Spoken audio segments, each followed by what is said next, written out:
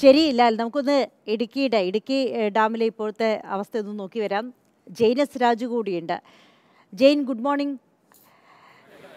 ഇടുക്കിയിലെ ജലനിരപ്പ് എങ്ങനെയാണ്? നമ്മുടെ ശ്യാമു ലാൽകൃഷ്ണനുമൊക്കെ അതിന്റെ ഒരു കണക്ക് സൂചിപ്പിച്ചു.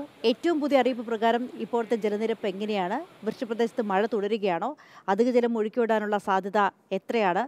ഈ ചെറുതോണി പുഴയിൽ ഉൾപ്പെടെ ശക്തമായി കുത്തിയൊലിക്കുകയാണോ വെള്ളം?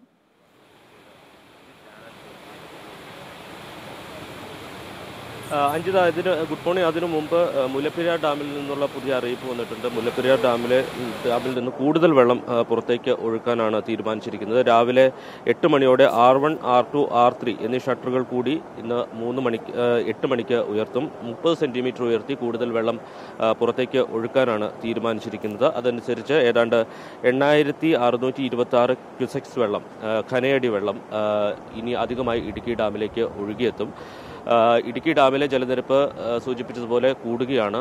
ഡാമിലെ ജലനിരപ്പ് രണ്ടായിരത്തി മുന്നൂറ്റി എഴുപത്തി ആറ് പോയിന്റ് ഏഴ് എട്ട് അടിയിലേക്ക് എത്തിയിരിക്കുന്നു. കഴിഞ്ഞ രാത്രി ഏതാണ്ട് ദശാംശം മൂന്ന് പൂജ്യം അടിയാണ് ജലനിരപ്പ് ഉയർന്നിരിക്കുന്നത്. വൃഷ്ടിപ്രദേശത്ത് മഴ തുടരുന്നു. ഇനിയിപ്പോൾ വരും മണിക്കൂറുകളിൽ മുല്ലപ്പെരിയാറിൽ നിന്ന് കൂടുതൽ വെള്ളം എത്തുകയാണ്. ഇപ്പോൾ നമ്മൾ കാണുന്നത് തടിയമ്പാട് ചപ്പാത്താണ്. ചപ്പാത്തിന്റെ മുകളിലൂടെ ഇന്നലെ തന്നെ വെള്ളം ഒഴുകാൻ തുടങ്ങിയിരുന്നു.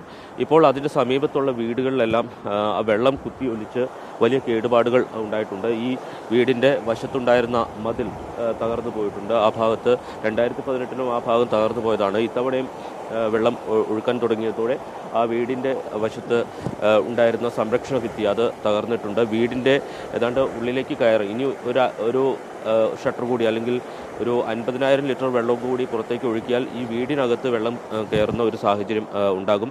ഇതിന്റെ അപ്പുറത്ത് ആളുകൾ താമസിക്കുന്ന മേഖലയാണ്. അവിടെയും വീടുകളിൽ വെള്ളം കയറിയിട്ടുണ്ട്. അവരെല്ലാം മറ്റ് സ്ഥലങ്ങളിലേക്ക് മാറ്റി പാർപ്പിച്ചിരിക്കുകയാണ് എന്താണ് ഇവിടുത്തെ ഒരു സാഹചര്യം? എന്താ ആളുകളൊക്കെ മാറി? ആളുകളെല്ലാം മാറിയിട്ടുണ്ട്. ഇന്നലെ വൈകുന്നേരം ഇന്നലെ ഉച്ച കഴിഞ്ഞ പോലെ ഡാമിൽ വെള്ളം കൂടുതൽ തുറക്കുമെന്ന് പറഞ്ഞ പോലെ ആളുകളെല്ലാം താമസം മാറി സാധനങ്ങളെല്ലാം പിറക്കി മാറ്റിയിട്ടുണ്ട്. എങ്കിലും ഇപ്പോൾ ഈ ഒരു വീട് ഇതുപോലെ നേരെ അക്കരിയിരിക്കുന്ന വീട് ഇത് രണ്ടും ഇത് പത്ത് മണിക്ക് വെള്ളം കൂട്ടുമെന്നാണ് പറയുന്നത്. ആ പറയുന്നത് വെള്ളം കൂട്ടിയാൽ ഈ രണ്ട് ഘട്ടത്തിലും വലിയ ഭീഷണി തന്നെയാണ്. തീർച്ചയായും ഘട്ടം പൊളിയുന്നൊരു അവസ്ഥയിലേക്കാണ് നിൽക്കുന്നത് ഇപ്പോൾ. പിന്നെ ഇപ്പോൾ തന്നെ ഒരു വെള്ളം കയറിയതിന്റെ പകുതി ഭാഗങ്ങളൊക്കെ പൊളിഞ്ഞ് തുടങ്ങിയ അവസ്ഥയിലാണ്. പിന്നെ വെള്ളം കൂട്ടിയാൽ തീർച്ചയായും ഈ രണ്ട് ഘട്ടം ആ രണ്ട് ഘട്ടം എന്ന് പറഞ്ഞാൽ ഈ ഇവിടെ ഉള്ളതിൽ ഏറ്റവും പ്രധാനപ്പെട്ട നല്ല ഘട്ടങ്ങളാണ്. ആ രണ്ട് ഘട്ടങ്ങൾക്കും വലിയ ഭീഷണി തന്നെയാണ് ഇപ്പോൾ നിൽക്കുന്നത് ഇവിടെയുള്ള ആളുകളൊക്കെ ഇങ്ങോട്ട് മാറി ആൾക്കാരെയൊക്കെ ഓരോരുത്തരുടെ വീട്ടിലെ ഓരോരോ സ്വന്തക്കാരുടെ വീട്ടിലേക്ക് അല്ലാതെ റൂമും ഒക്കെ വാടകയൊക്കെ എടുത്തൊക്കെ അങ്ങോട്ട് മാറുക ഇത്. ക്യാമ്പിലേക്ക് അധികം ആൾക്കാർ പോയിട്ടില്ലെന്ന് ഒന്നോ രണ്ടോ വീട്ടുകാരും കണ്ടേ പോയിട്ടുള്ളൂ. നിങ്ങൾക്ക് ആശങ്കയുണ്ടോ? ഇനി കൂടുതൽ വെള്ളം തുറന്നു വിട്ടാൽ? വെള്ളം തുറന്നു വിട്ടാൽ പ്രശ്നമാവുന്ന പേടിയുണ്ടോ? ആ, പേടിയുണ്ട് പേടിയുണ്ട് പേടിയുണ്ട്. തീർച്ചയായിട്ടും പേടിയുണ്ട്. ഇനിയും തുറന്നു വിട്ടാൽ ഈ- കെട്ടറും ആ കെട്ടറും വലിയ ഭീഷണി തന്നെയാണ്. ഇന്ന് പത്ത് മണിക്ക് വെള്ളം കൂട്ടിയാൽ ഈ രണ്ട് കെട്ടറും പോയുന്ന അവസ്ഥയിലാണ് ഇപ്പോൾ ഉള്ളത്.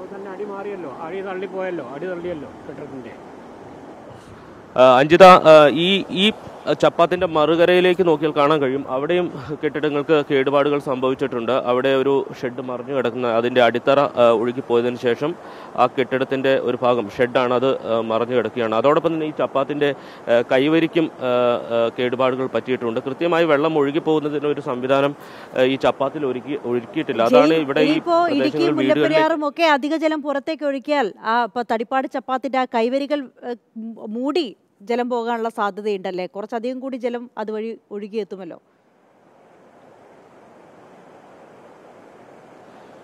തീർച്ചയായിട്ടും. ഇപ്പോൾ പത്ത് മണിക്ക് റൂൾ കർവ് കമ്മിറ്റി യോഗം ചേരുന്നുണ്ട്. അതിനുശേഷമായിരിക്കും എത്രത്തോളം വെള്ളം പുറത്തേക്ക് ഒഴുക്കണം എന്ന കാര്യത്തിൽ തീരുമാനമെടുക്കുക. നിലവിൽ വൃഷ്ടിപ്രദേശത്ത് മഴ തുടരുന്ന സാഹചര്യത്തിൽ വെള്ളം അധിക ജലം പുറത്തേക്ക് ഒഴുക്കാതെ ഇനി കഴിയില്ല. കാരണം ജലനിരപ്പ് നിയന്ത്രിക്കേണ്ടത് അത്യാവശ്യമാണ്. മുല്ലപ്പെരിയാർ ഡാമിലെ ജലനിരപ്പ് അതിന്റെ പരമാവധി സംഭരണ ശേഷിയിലേക്ക് എത്തുകയാണ് നൂറ്റി നാൽപ്പത്തിരണ്ട് അടിയാണ് പരമാവധി ഇപ്പോൾ സംഭരിക്കാൻ കഴിയുന്നത്. അപ്പോൾ ആ ലെവലിലേക്ക് വെള്ളം എത്തിയാൽ അത് ഒരു പ്രളയ സമാനമായിട്ടുള്ള പ്രശ്നങ്ങൾ ഉണ്ടാക്കും. പിന്നെയും മഴ പെയ്താൽ ഡാമിൽ ഒരു തുള്ളി വെള്ളം പോലും സംഭരിക്കാൻ കഴിയില്ല. അതുകൊണ്ട് തന്നെ ആ മുഴുവൻ വെള്ളവും പുറത്തേക്ക് ഒഴുക്കേണ്ടി വരും. അങ്ങനെ വരുമ്പോൾ ഇടുക്കി ഡാമിന്റെ ആ, സംഭരണ ശേഷി സംഭരണ ശേഷി അത് കൃത്യമായി